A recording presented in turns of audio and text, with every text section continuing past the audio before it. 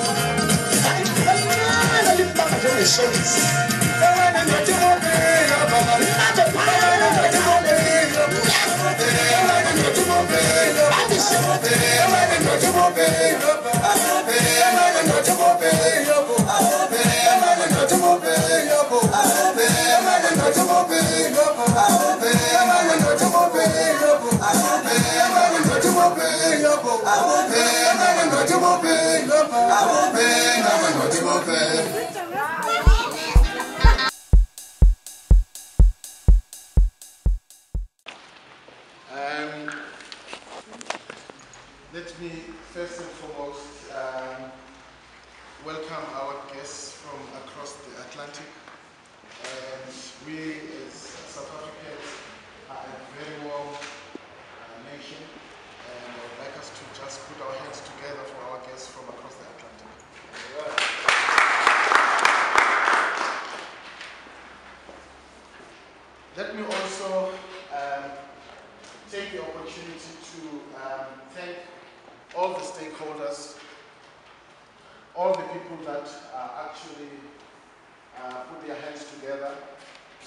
their heads together to make this uh, wonderful sort of day happen. I think for me, one of the critical things that are very, very important uh, with regard to a gathering of this nature is the linkages um, that, that are going to be built between um, South Africa as well as um, the uh, United States, uh, which is the Chicago uh, Gallery. I know the gallery, I know the diversity of the gallery, I know how powerful it is in terms of exposure uh, from a global point of view. And I think this is a wonderful, wonderful opportunity uh, for us as South African artists um, to be able to get exposure at that, at that level. Um, ladies and gentlemen, I am, um, as I was introduced, I'm Sipiwe. Um, the surname is Soga. I represent SEDA. Um, SEDA is one of the uh, sponsors of the selected uh, artists uh, from the townships, from your previously disadvantaged background that we would like to take them across the Atlantic. We're working uh, with the Department of Arts and Culture from OR Tambo. And what we are going to do as SEDA, we have committed um, to the selected artists um, to take them across the Atlantic so that they can expose um, their art during uh, the, the, the event in September. Um, and um, just a little bit in terms of what SEDA does. Uh, we as SEDA, we are an agent of the government. Um, our mandate is uh, first and foremost to develop um, your small and medium enterprises in South Africa. And I'm standing here on behalf of the Eastern Cape province, if you look in terms of SEDA. I think that is important for us as SEDA is to uh, provide access to markets, which is this intervention basically is, is, is the key in terms of in terms of that leg of our strategy is to provide access to markets for our clients so that they can get exposure in terms of uh, uh, selling their products, not only within the local South African market or the local Eastern Cape market, but into uh, the global sphere.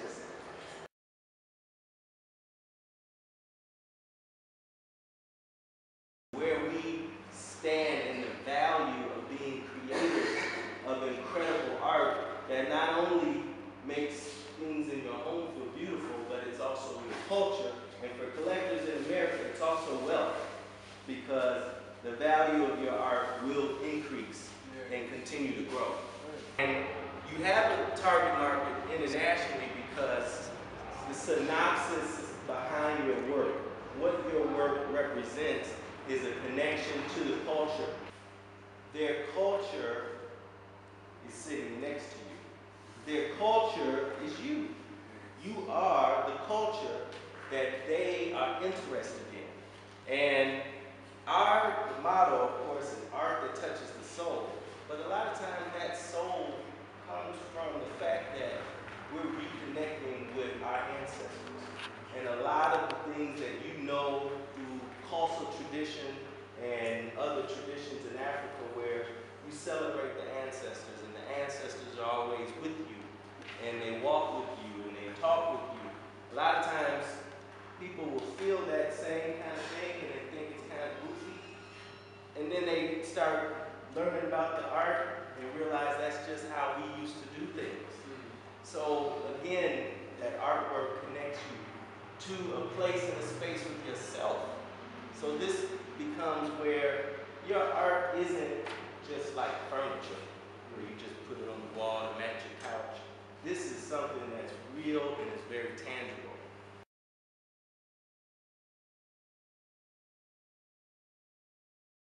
And then we have a trolley tour, another way of connecting what we do with the various other venues around the various different, the area called the Bronzeville Art District. This allows us to take a trolley and allows people to gather in the various spaces and then ride that trolley to the different venues. So perhaps you have a gallery, you have a gallery, and there's a gallery, um, he has a gallery. It allows you to take the trolley to the different galleries and see the different artwork. And that way you're connecting with the people and you're connecting with each other, a collaboration, working together. Um, I just want to interject and just introduce an idea here. You don't have trolleys, but you have taxis. Yeah. And you could design a system for tourists and visitors of a taxi system that goes from artist home to artist studio to artist home. You could add music, you could have traditional dance, you could serve food in the homes. Tourists, people from around the country, are not looking for a European or an American experience. They're looking for a South African experience.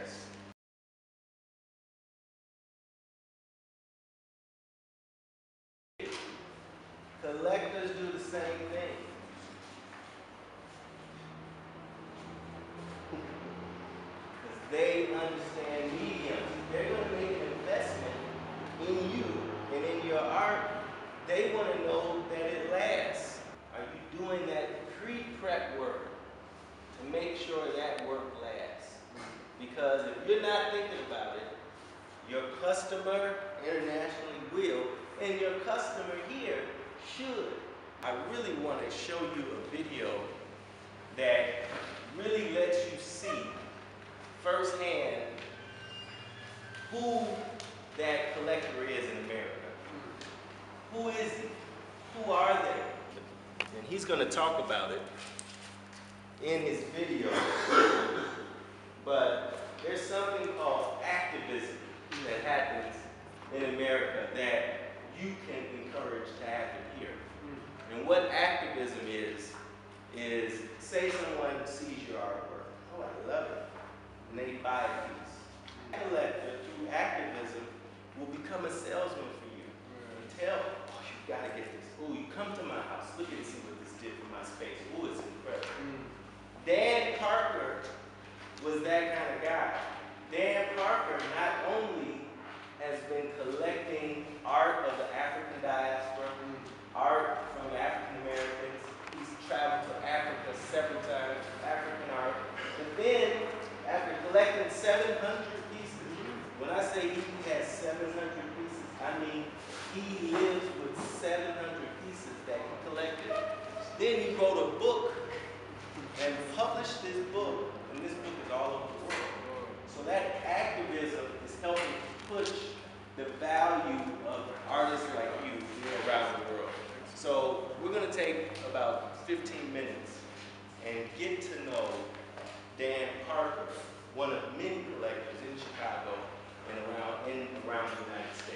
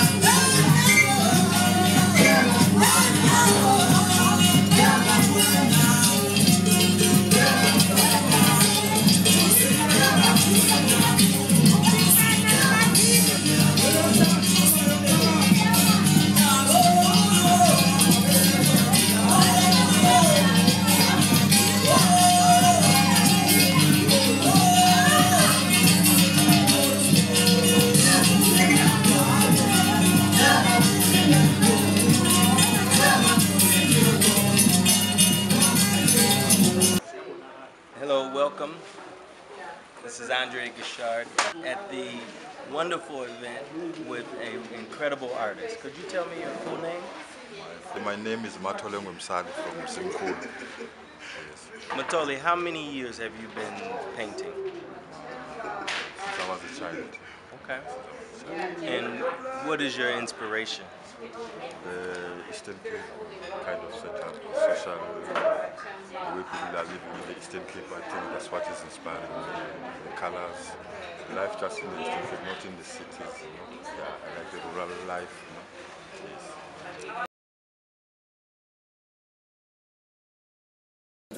Letha, can you please tell me the mediums and process that you use to create your work? Okay, I use uh, clay in sculpting the pieces like this one and the pots. All of them are once-off pieces. Uh, they are unique and original. Uh, mostly, as you will notice that the clay, the, the pigment there is uh, red, uh, reddish brown. It's, it's the earthenware clay that's uh, very typical of the Eastern Cape clay. Uh, so I use it and I bake it first, take it to a, a bisque level, and then I come back, I, I engrave. In fact, I do the engraving first before the clay is, is fired. So those, all of those uh, engravings are informed by my own original designs, as you can see there. Uh, if you notice, there is a very uh,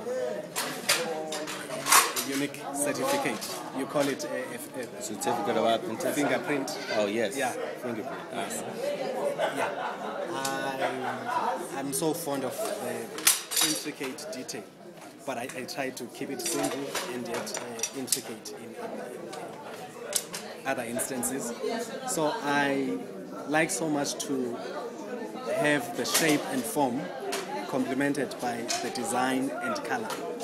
Mm. Yeah. So after on, on top of the engraving and the carving, I go over with color, but try to balance. I, I often try to keep that original surface, clay surface, as you can see here. It's just the mm. clay color. I don't co- completely cover it entirely, so that at least one gets to have the, the, the touch of the texture and, and, and yes, the shape of the clay. So um, all of this is, is, is, is, is done in, in East London uh, in an electric electric uh, kiln. Excellent. Yeah. I want to thank you for sharing your creativity and your beautiful artwork. And thank you on you as you travel back to East London from Mthatha. Yeah, thank you so much, Andre. It's been uh, great interacting with you guys, and all, all the best in, in the project that you're running. Thank you.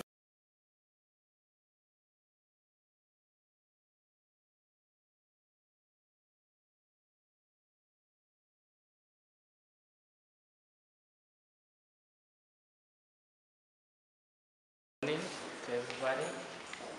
My name is Sinotolo. Shiva is my surname. I come from a small village of in Kestamau uh, called Kogi.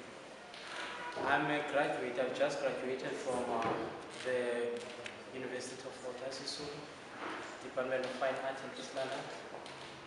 Mm, I was doing my degree there, finished this year, but I'm not employed yet. I was looking for but in the meantime, I was painting landscapes.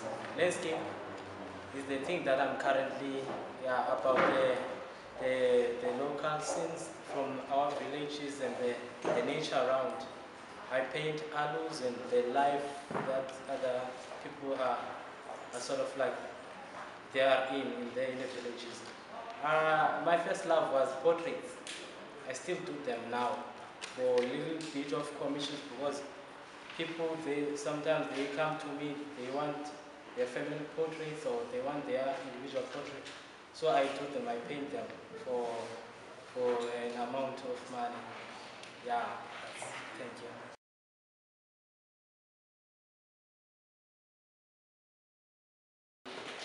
Morning, everybody. Good morning. I'm Kumar Zuma from Willow Vale, but now I'm based in East London. I'm a fine artist. Um, I'm a ceramic sculptor. I like to use clay very much. Mm, currently, I'm doing teaching course at University of Fort I'm doing that course because I like art very much, so I want to teach the children about art because some of us we take the art from the older stage so I would like to take those children up to the higher level know what is about art not just for the sake of doing things, not knowing about the art. So um, currently I'm not uh, working, uh, as I've already said, that I'm doing my studies at University of Fort So after I've finished my studies, I would like to go back and do my artworks.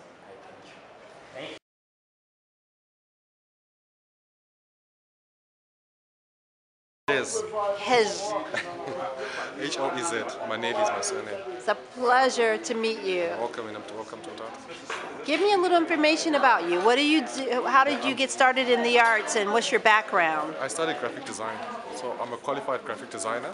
2006 I started painting. I've been painting ever since. I'm a self-taught painter. So yeah, I've been 2000 for about six, seven years. Six, seven years. Wonderful. So give me a little information about the work. Uh, what kind of mediums are um, you using and what inspired you to I paint like- these pieces? I like I like using oil. I only use oil and watercolors now and again, but I don't have any watercolors here. Um, what inspires me is I'm drawn to working women. Like it's something that I realized after like after I made a lot, a lot of paintings. I realized that I, I like drawing a, a lot of women who are working, especially rural scenes and cultural scenes. So that was just storytelling scenes. These are working women, but I also noticed that they are wearing traditional makeup and traditional dress. Tell me a little bit about the all these, I, I what I do is for my reference, I go out and I take pictures, and I come back and I work from home. So um, basically I draw what's it's also cul- cultural. You might you might you might take it for granted that, but here we take it for granted that someone's got a sack of potatoes on their head and they're carrying. I did another painting, but uh, but she had, she was carrying more in a plastic bag in her hand, and she's got a child, and you probably find that she's going to that village, not even coming to this village. And of course, like they walk long distances, and so that's what I like depicting here. She's from like in the afternoon, maybe after working in the fields, um, in the rural areas, women will go and collect wood. I think he was inside. 10, 15 Ks. Two, not from two, so two and from is like 30 Ks in a day. What they know, there's another painting I did. She's carrying wood, but I sold it. It was a nice one. Where you actually get the length, it's a big painting. And she's got spinach, because she'll, she'll carry the wood and then the spinach she'll put in the back of her. And then she'll carry, maybe she'll pass the shop, she'll carry plastic bags and she'll go home and cook. And when they cook, they cook in, they cook outside, they cook in traditional, these are, you know these pots, most, you've seen them before. You've seen I, I, I, also Yeah. So they use high class pots. But this was at a wedding. This picture here. So they're cooking outdoors. Yeah, they're and cooking out for the wedding. This was for a wedding. Outside the rendezvous. Yeah, so whenever there's celebrations or or let's say like uh, funerals and all that kind of stuff, then the women will gather, all, all gather. Or let's say you live, maybe maybe this is where you live. You can't, you can't like. That, that's it.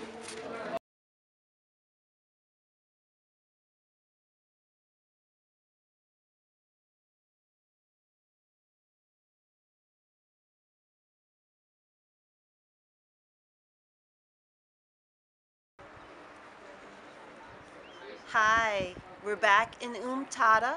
Here, uh, our last day, and we're at the mural of. Again, say your name for me again. My name is Matole Msali. That's my name, Matole Msali. How long have you been painting, Matole? Uh, I've been painting since I was a, a young boy, but to paint professionally, I think it's been eight or ten years now since I've been doing this job. And we were with you yesterday at the Arts and Cultural Center, and today we're here with you at this lovely mural. This is amazing. Can you tell us a little bit about what's going on here? Oh, this mural, uh, I was approached by the owner of the PNP and he said uh, he has a PNP with the name of uh, Big Five. So ba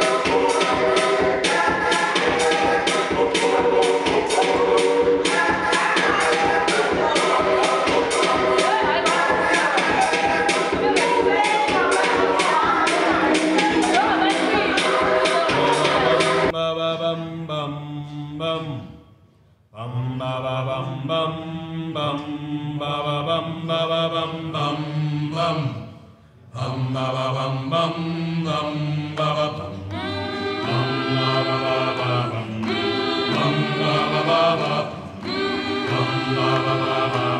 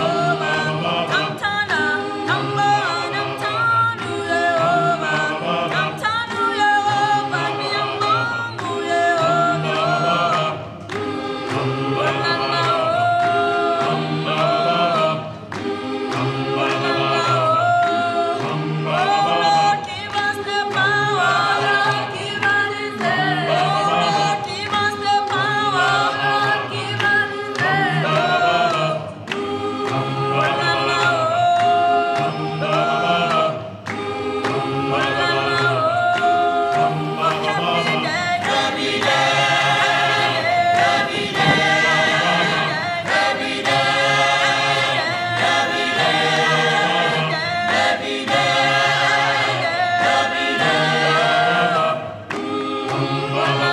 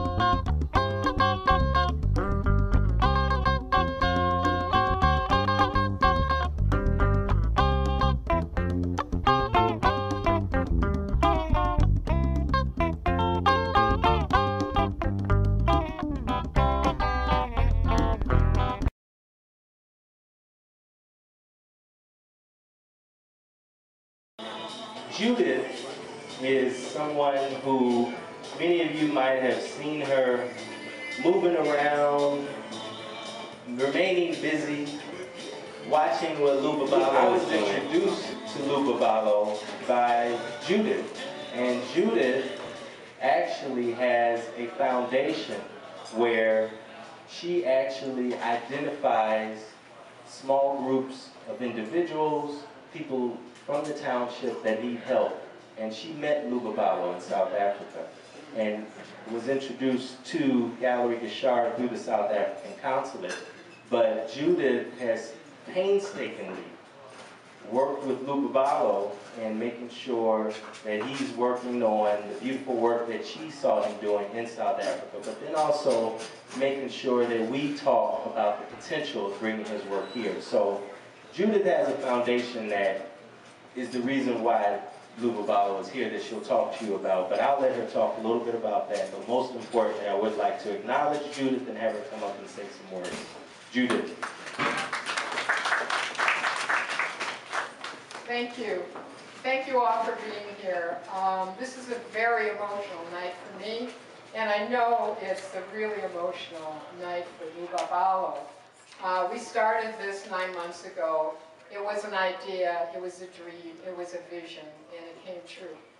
And one of the things I love about my work in South Africa, I've been going back and forth for 15 years, and I am a permanent resident there. I'm born and raised in the United States and might say that I lived in Chicago for a long time. I love Chicago. It's absolutely my favorite city and hope someday I'll be here again. Um, the, just the change that this will make for Luba Lubabalo and frankly for all of you. The first time I saw his work, I knew I had to have a piece and I bought a piece. And one of my board members who wasn't able to make it tonight also bought a piece. And I never forgot his work. I tried to have him think about exporting a long time ago. He wasn't ready. Uh, I met Andre. Andre said, we need a township artist to be part of this partnership and collaborative. And I thought of Lubabalo, didn't tell Andre, went back, talked to Lubabalo. He was exactly the place where we needed him to be.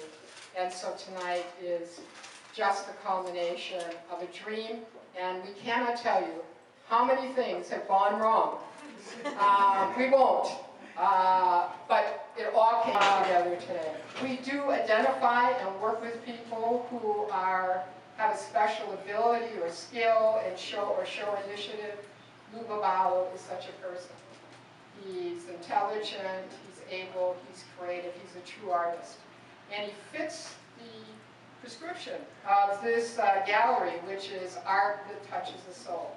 And I think when he talks about his sculptures, you will realize he's made creations that touch his soul, and hopefully they will touch yours. I thank you very much. Give a round of applause for Judith.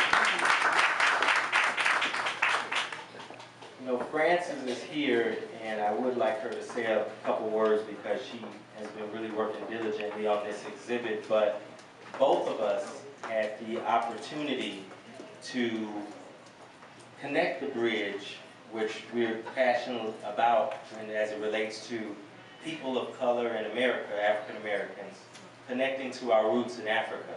And about three years ago, we got an invitation that the South African Consul General would be at an event at Park 52.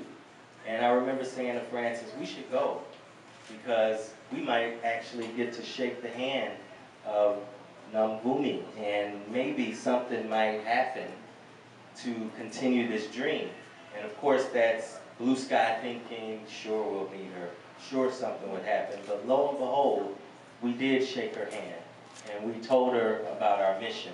And that began a relationship that started with the exhibit from Robert Chimungwa. Many of you may have remember his exhibit a year last February with the Black History Month exhibit, but it continued after that with an opportunity to go on a buyer's mission to South Africa and meet more artists.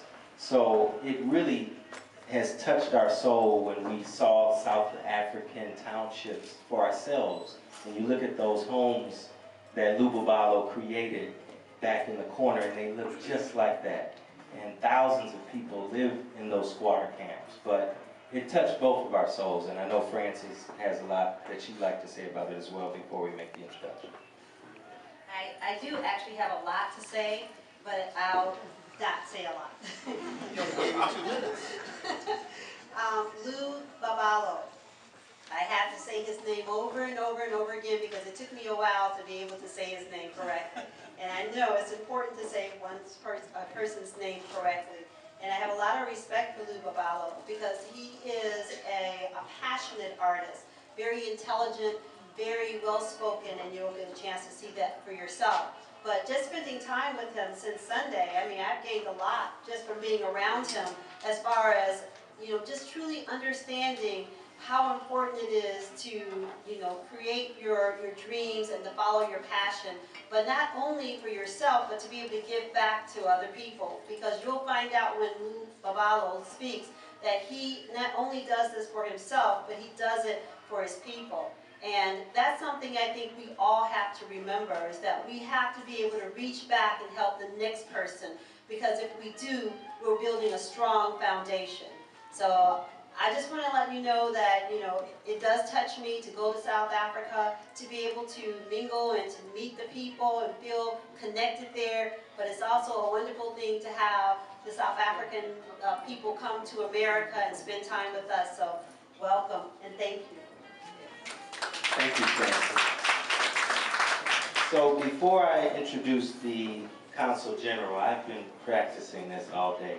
and Lubabalo has been coaching me, so bear with me as I greet and welcome to you the Chicago South African Consul, Consulate General, Namvumi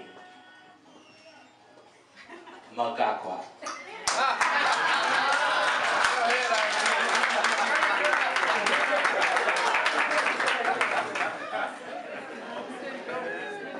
Thank you, Andrew. Well done. Good evening, ladies and gentlemen. I am in a bit of trouble because two, three people who spoke so well this evening have said anything that I could have wanted to say. So I'm standing here in front of you to say thank you to Family Guichard for this wonderful event this evening. I want to heartily thank our guest from South Africa, Lubabalo. Welcome, Lubabalo. This is the warm city of Chicago, as you might have experienced. Um, I also want to just say thank you to my colleagues and uh, the staff uh, from the consulate, represented by Mrs. Scott here, and Kevin Gorey. Thank you so much for the hard work you do. Ladies and gentlemen, um, tonight we welcome Lubabalo, all the way from South Africa. We're honored to have you here, Lubabalo, and your delicate sculptures. I thank you once again, Francis and Andre, for your unwavering support for the work that South Africa and the rest of the continent does to try and showcase our talent and skill in the United States of America, but particularly in the beautiful city of Chicago. September is Heritage Month in South Africa, and therefore the timing of your visit here, Lubabalo, is perfect. We're gathered here to celebrate South Africa's Heritage Day, um, and through this, the talented artist from South Africa and his achievements. He represents some of the best of our art. And as you know, art in South Africa and elsewhere is used as a form of expression and language for the talented to convey their expressions. We're experiencing those expressions here tonight at Gallery Guichard, and thank you to all of you for coming. While this exhibition is a great example of cultural exchange, it's also really a strategic effort by government, as you may have heard from Judith here, explaining at great length uh, government efforts in South Africa to empower communities. Lubabalo is one of those beneficiaries that have been empowered by the NGOs, like uh, uh, Judith's one, but also who have been assisted by the efforts of government only with the aim to empower himself, his family, and his community. So we, I take my hat off for you, Lubabalo, for the strides and the efforts and the willingness to come and expose your work in Chicago. I just want to say that, as uh, perhaps has been alluded to, that we take growth opportunities as the government of South Africa very seriously.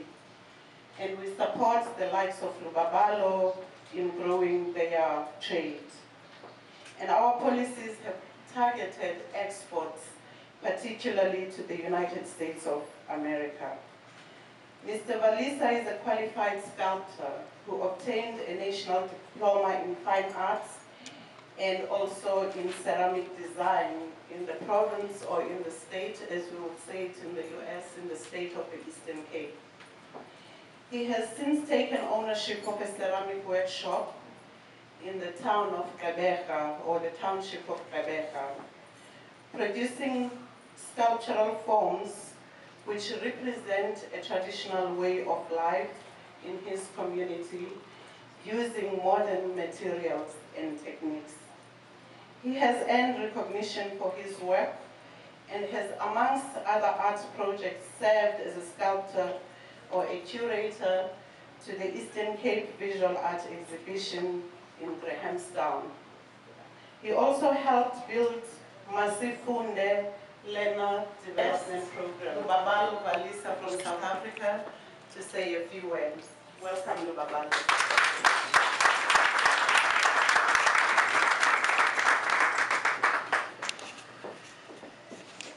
Right, a few words indeed. sure, where do I begin? Um, let me take this opportunity to thank everyone for coming here this evening. Um, I am not shaking because I'm scared of going to do that. Yeah, I, I, I cannot measure the level of excitement within me. I must say again, I've never had so many um, compliments ever in my life.